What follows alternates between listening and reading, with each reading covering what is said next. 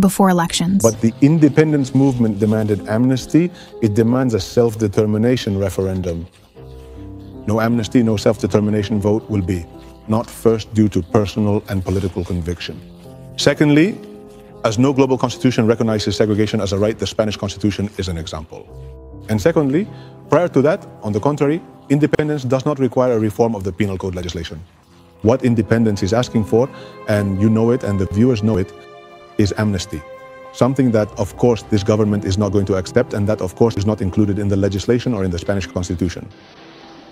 And I truly believe that the independence movement needs to self-reflect on what occurred in 2017. I understand that you come here, tomorrow the same thing will happen, and the next day too, telling me that your maximum program, well, we already know it, it is self-determination, it is amnesty according to you. However, in any case, if we wish to make progress in the dialogue table, I comprehend that we should initiate conversations about those things in which we are closer. Because if we can only talk about self-determination and amnesty, is that a dialogue? Is that a negotiation? Or is it an imposition? Now, if we discuss self-determination and amnesty, well, obviously the path is what it is. That's why I mentioned the principle of reality. After elections. But from the elections arises an even more powerful reason, and it seems to me that it is much more conclusive. And it's an opportunity. Due to the outcome in Catalonia, that of the previous 23, from July proved that the grace measures, pardons, have had a significantly larger impact on Catalan society than could have been anticipated.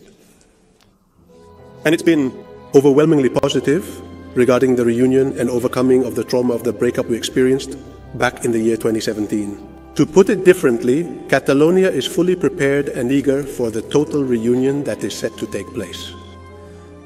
Representatives of more than 80% of Catalans support this measure, and for those same reasons, in the name of Spain, in the interest of Spain, in defense of coexistence among Spaniards, today I defend amnesty in Catalonia for the events.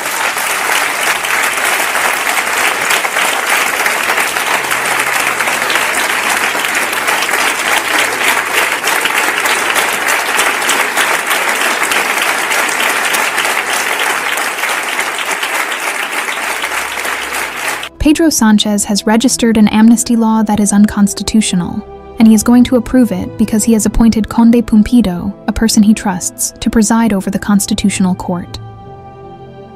The amnesty law and the agreements reached to govern are a blow to democracy and the beginning of a new regime.